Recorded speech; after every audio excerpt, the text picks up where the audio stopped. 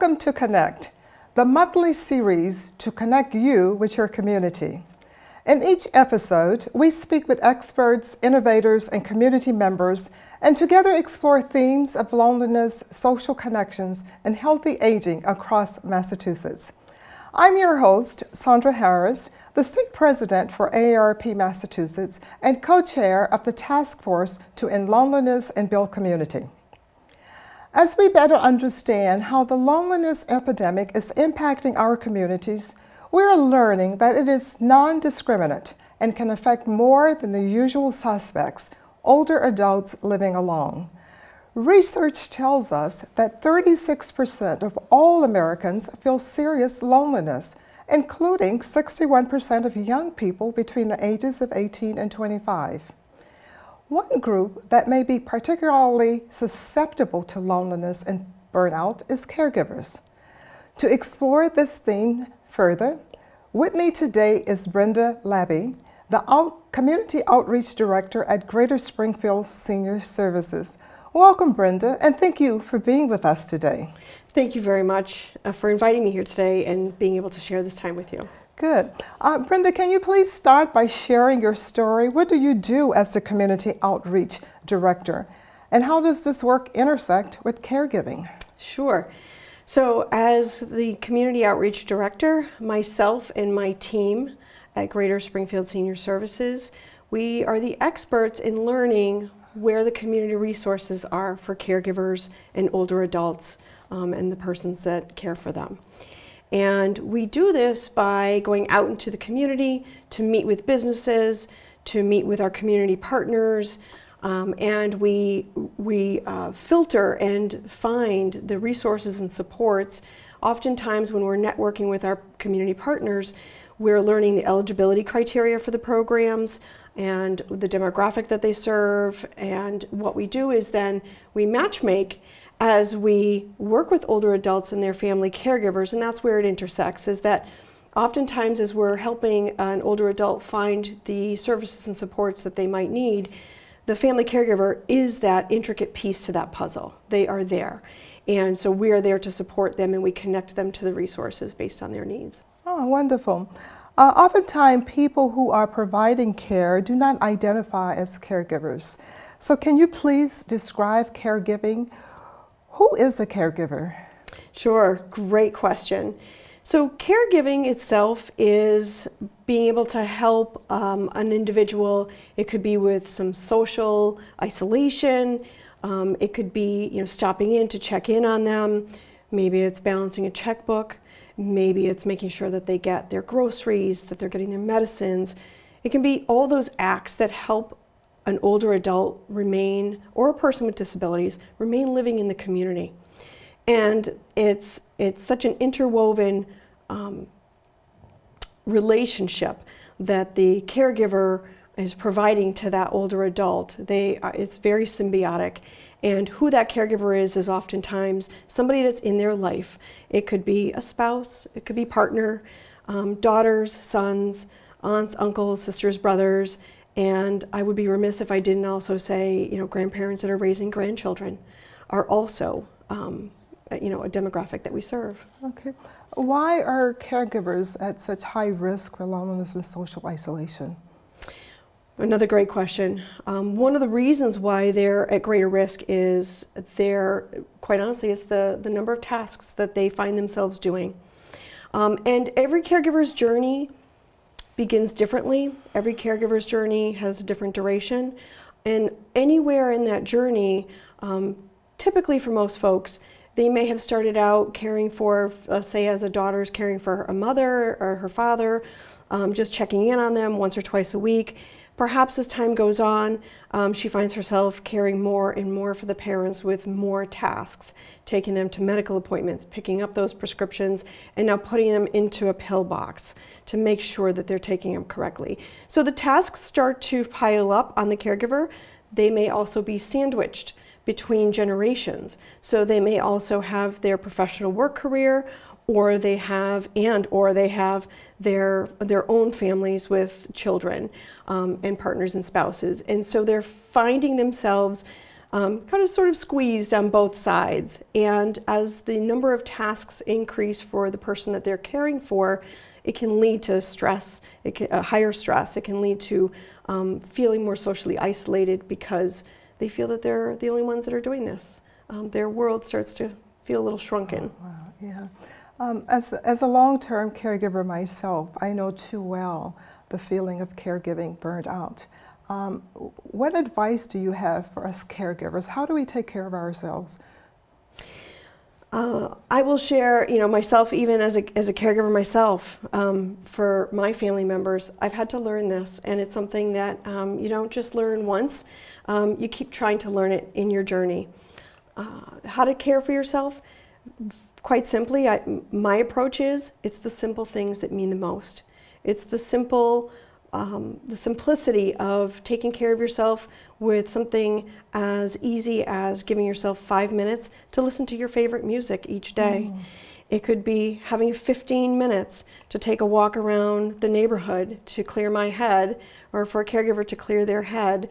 And so, by having those small opportunities, you start to weave what I call a quilt of care for yourself and for your loved one. Because to be present and to be the best caregiver that you know a person wants to be for the person that they're caring for, their loved one, you have to care for yourself first. Um, and not that it's a priority. Um, I'm not suggesting that a caregiver must be the priority. It's actually a balance.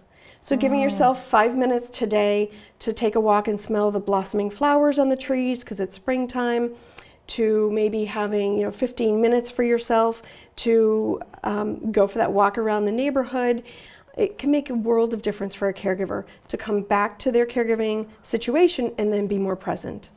Another tip I would love to share with you, and, and honestly, I'll even, it, it, comes from my own personal experience. Um, I have two brothers that don't live close to me. And so when, I, when my brothers will ask me, what can we do to help? How can we help you? I would never have an answer for that. And therefore, it went unanswered, and I continued to feel that I wasn't being supported. So, in reflecting on that, I realized that one of the simplest ways for me to remember was to make a list. So I started to keep a list when it would come to my, you know, to my memory, when it would pop into my head, um, that I could use help with, let's say, um, checking in on my mother and father's cable bill. That's something that my brother can do from long distance. Um, my brother would say to me, I'm coming down for the weekend to visit with mom and dad. What can I do? I went to my list. And my list will include something that's, uh, you know, I might want to do for five minutes, I might want to do for 15 minutes, something I would do with a half a day, something I would do with a whole day, and something I would do for a whole week. So those five things I keep on a list. And I post it on my refrigerator. I often encourage caregivers to put that on their refrigerator, their cabinet door, and use that, reflect on it. Because being so task laden, when a caregiver is finally offered that opportunity, we freeze. We forget what, what, what was it that I would do? And so to have that list to reflect back on makes it easier for folks to you know, to take the offer that's being given to them and use it. Take it full advantage. If my brother says he's coming down for the weekend, now I have a list of honey-do items to give him that he can follow and that he can help me with. Um, Another tip that I would love to share would be, you know, for a caregiver to um, consider in today's world the technology that's also available available to them. To use um, electronic, for example, Sign Up Genius is an application that can be used either on a desktop computer or even on an iPad, and you can create a free account and you can create a list and email it out to uh-huh. individuals so it might be your, your friends, your work friends, your neighbors, your family, whomever is your network, and use that to build a to do list or a wish list. It also takes off the, the uh, in that moment when somebody is asked, Can you come over this weekend? I'd really like to get out for half an hour. Yeah. And then there's a little, there could be like a little bit of friction there, and you know, I feel bad saying, I can't. But by putting it electronically out there for your group of family, friends, or coworkers that who want to help and don't know how to help, putting out there electronically allows them that opportunity to then look at their calendar at their own leisure and see what's available, and then to sign up for a time or a task that will work for their uh, schedule. And then that makes it easier for me as the caregiver. Brenda, thank you so much for sharing that story. I think it's going to be very, very helpful. I know it's helpful for me as a caregiver because oftentimes, even as a long-term caregiver, I'm just a real, you know, a little reluctant to reach out to my sister and say, what can I do? Because I feel that I'm adding on to her task, right? Mm -hmm. Giving her something else to do. But one of the things I will suggest to her is that she keeps a, uh, perhaps an online list or task of things that needs to be done. Do you have any tips on how to care for or help to stave off loneliness and social isolation as a caregiver? Yeah, so one of my favorite ways that I, I oftentimes uh, share with the caregivers that um, I work with day to day, week to week, um, again, leaning into that simplicity. Oh. Um, when you go for a walk in the neighborhood, even go to your mailbox, and if you're picking up your mail, if you see a neighbor, give a gentle wave. It works both ways. They may not know what your journey is, but we're humans and we instinctively if somebody waves to you i'm going to give a little wave back or a little nod back.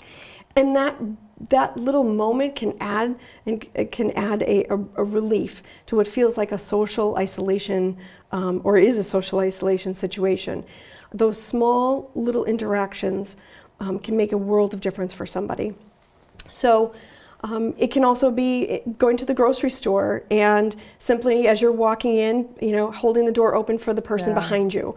Um, that chance glance and eye contact, a gentle smile speaks worlds of, of you know, it, it exceeds words to just give a gentle smile to somebody. And so those little pieces will start to build up. Yeah, as we as we always say, it's just the simple simple things that really make to make a difference. Uh, Brenda, what are some of the community resources that are available to caregivers in Massachusetts? Sure, my, one of my favorite topics. um, so, for Massachusetts, we have a wealth of resources for caregivers, really and truly. Um, I think that the I can think of four ways for caregivers to start. The first would be um, checking in with your local council on aging or senior center. They have an outreach worker that knows their community and they that is their their job their, and they make it their business to know their community. Mm. and so as they're filtering in they too i'm networking with them they're networking with me.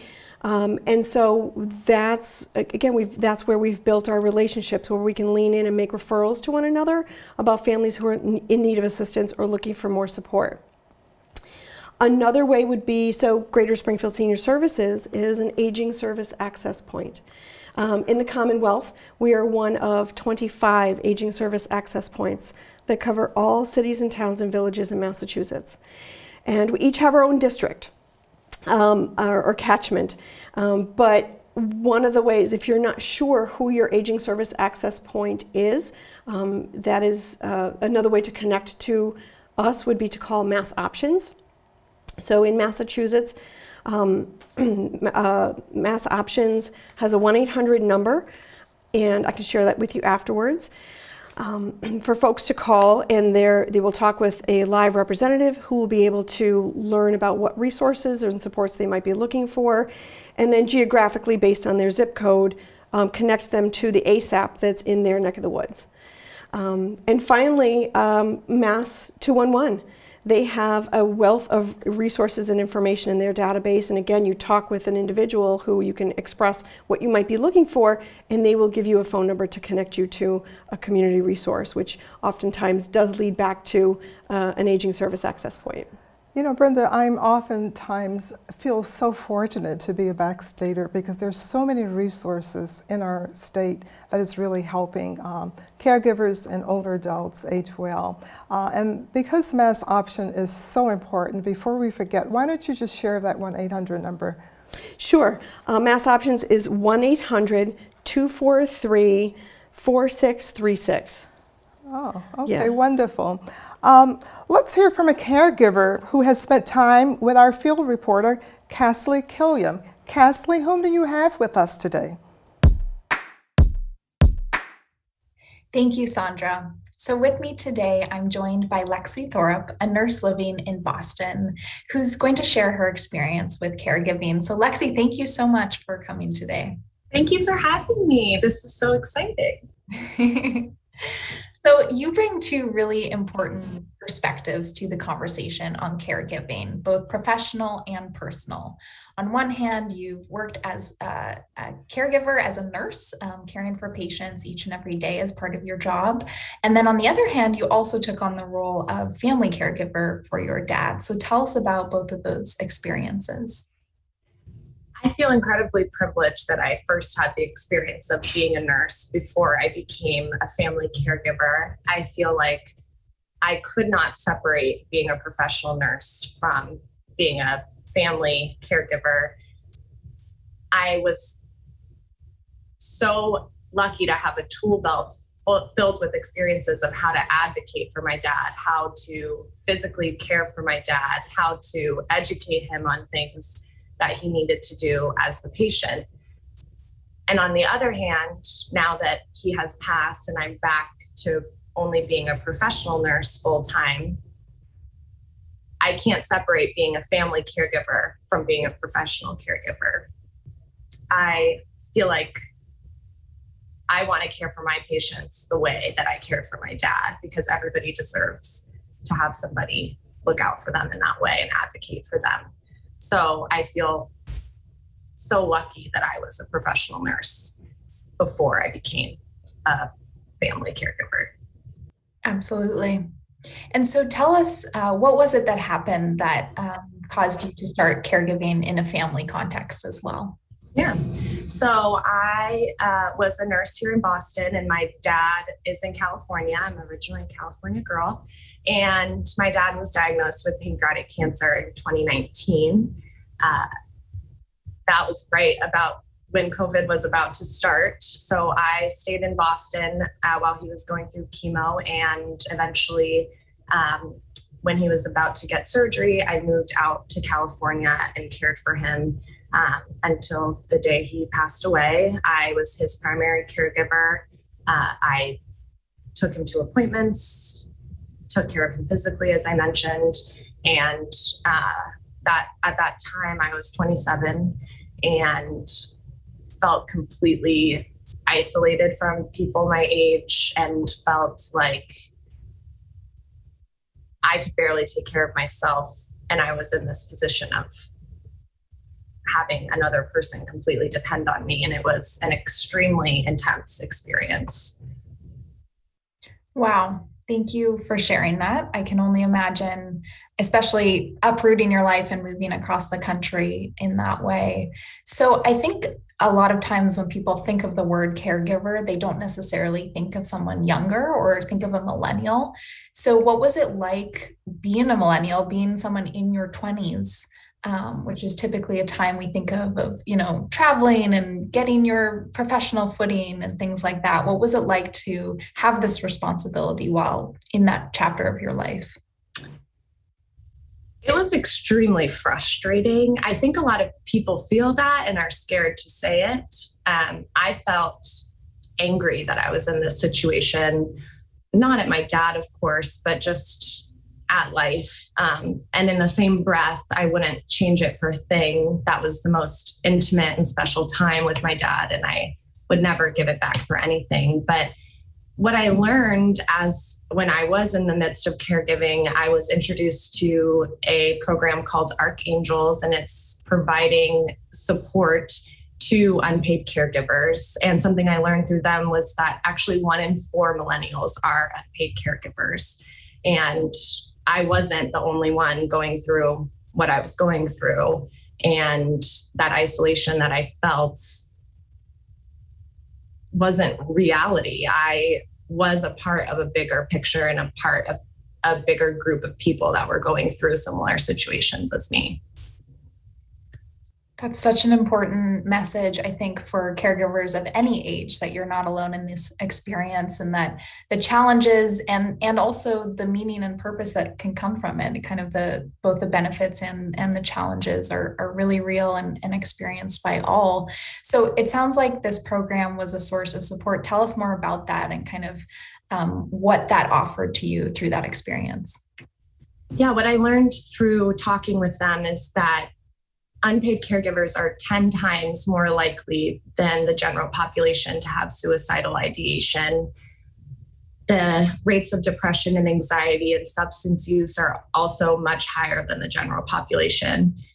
And also, in the same breath, what I learned was that having just one person to connect with and get support from reduces depression rates by 40% in unpaid caregivers and reduces anxiety by 30%.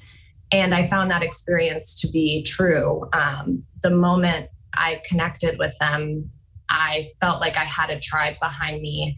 I had people that knew what I was going through, had advice to give me, to listen to me, to vent to. And that really turned things around for me. Um, in the midst of caring for my dad, I had terrible depression, really bad anxiety, uh, was barely getting through.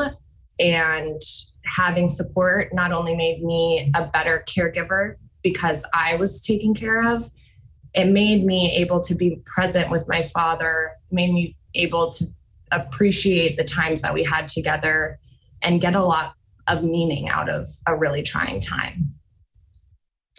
And what, how did those those interactions and that support? What form did that come in? Were you were these interactions online, virtually? Were you meeting up with other caregivers in person? How did that look?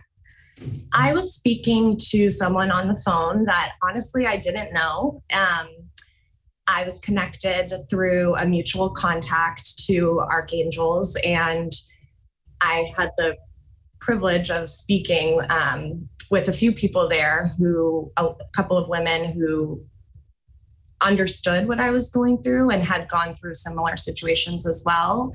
What I wish I had done in hindsight is give the people in my life a little more credit, a little more opportunity to be there for me.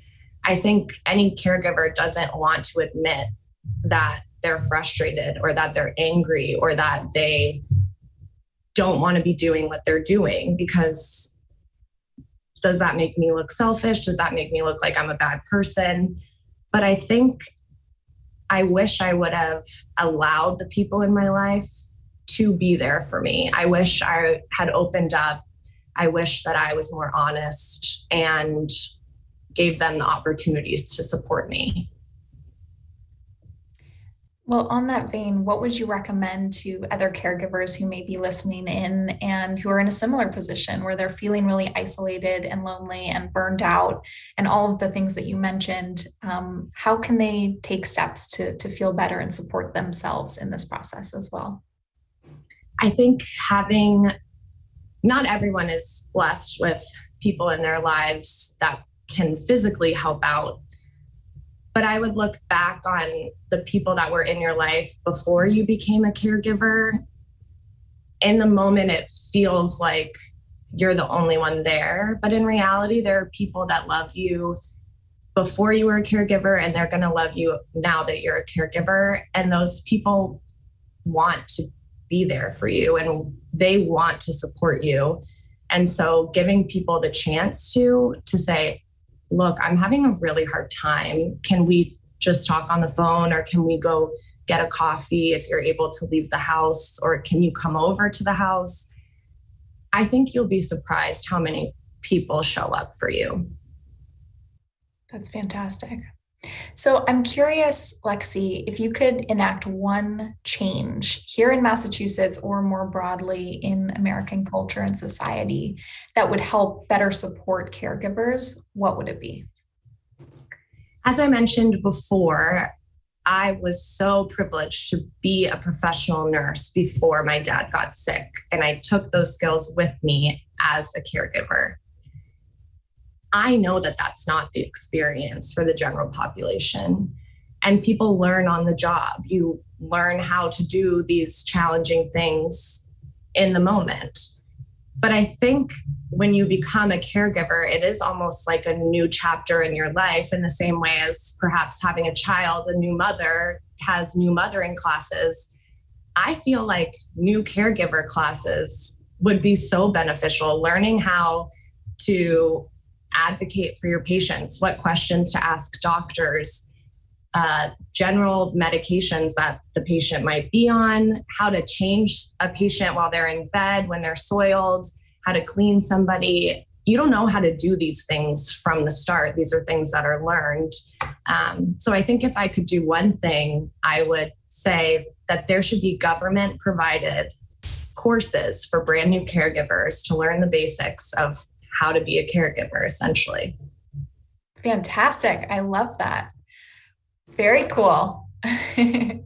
well, is there anything else you, you want to share, Lexi, about your experience or um, a message for other caregivers? Anything else that, that you'd like to impart to our viewers? Yeah, I think now that I'm two years out um, from, I'm not a caregiver anymore, family caregiver, uh, although everybody's probably a caregiver in one way or another, but I don't care for my dad anymore. I would tell people to even Google just what resources there are in your state for caregivers. I think the hardship of being an unpaid caregiver is coming to light.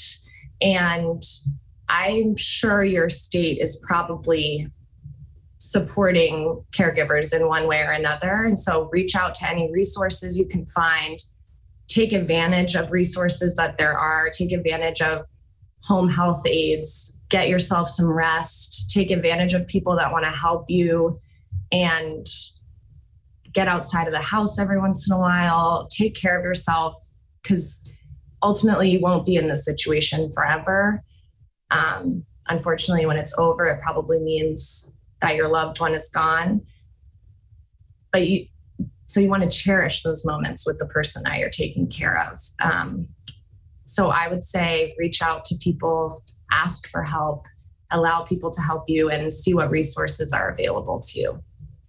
Wonderful words of wisdom. I think one of the things that really stood out to me that you shared with us, Lexi, was that being supported and finding other caregivers as well as family members who you could lean on for support helped you not only get through the days more easily but be more present with your dad and cherish those moments more. And so that's one takeaway that i hope uh, viewers will will keep uh, following this conversation. So thank you so much for all the insights you shared. Of course. Thank you for having me. Sandra back over to you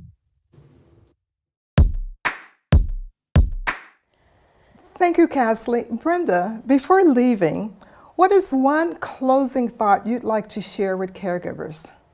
They're not alone. Caregivers are not alone.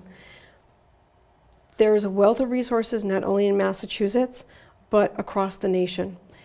AARP has a phenomenal website with a wealth of caregiving resources for folks yeah. to read, and their articles will then often lead them to those local community resources as well.